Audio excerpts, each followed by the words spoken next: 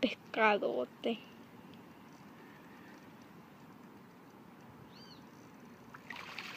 ¿Viste? ¡Está grande! Mira, dile al Richard que me preste el gancho.